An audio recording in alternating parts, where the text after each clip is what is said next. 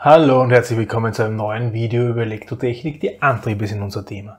Wir gehen gerade durch die verschiedenen Betriebsarten. Heute haben wir das erste Mal einen Betrieb, wo das wir laufend durchlaufen. Ja? Also wir haben äh, praktisch eine gewisse Leistung zur Verfügung, ja? eine gewisse eine, eine weniger starke Leistung ja? und einmal mehr Leistung Und zwischen diesen beiden Leistungen pendeln wir hin und her. Ja? Pendeln wir hin und her. Das heißt, ich gehe da nach oben, pack, bin jetzt per Zeit lang auf der hohen Leistung, gehe nach unten, bin noch eine Zeit lang auf der niedrigeren Leistung. Und so wiederholt sich das periodisch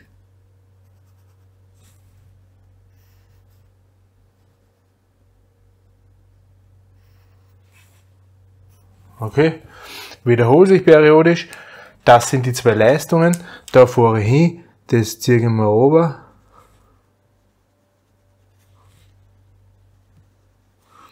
Diese Punkte. Der Einfachheit halber nennen wir das wieder Spielzeit und Betriebszeit und Stillstandszeit, obwohl ich nicht wirklich ein Stillstand ist. Gell? Also das hier ist wieder diese Spielzeit. Das TS. Ja. Dann da haben wir die Betriebszeit. Und da haben wir das TST. Haben wir praktisch die gleichen Bezeichnungen wie das letzte Mal beim Aussetzbetrieb. Ja ununterbrochener Betrieb. Äh, wie schauen wir da aus mit der Temperatur? Nun, äh, wir, wir pendeln praktisch zwischen zwei, zwischen zwei Werten. Das heißt, wir haben da unten einen Wert, einen Minimalwert und viel wichtiger natürlich haben wir da oben einen Maximalwert irgendwo.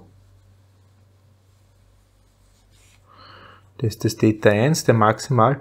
Und da, während der Zeit, werden wir uns erwärmen und werden da irgendwo hinkommen. Ja, da werden wir einen Ausschnitt aus dieser Wärmungskurve sehen.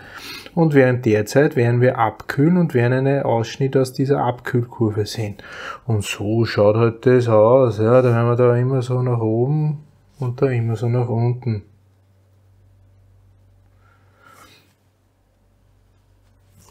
Es ist, schaut nicht nur so aus wie ein, wie ein Tiefpass, es sich natürlich auch so. Ja.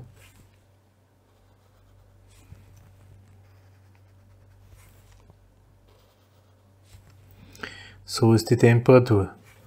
Nun, und wie, welcher, welcher Moment oder wie mache ich das jetzt mit der Auslegung? Nun, äh, dieses mechanische, das, das P da, ja, das ist das P S6, ja, dividiert durch Omega, mechanische, mechanisch, ja, Drehzahl, also nicht das Drehfeld, ja, sondern nicht die synchrone Drehzahl, sondern das mechanische.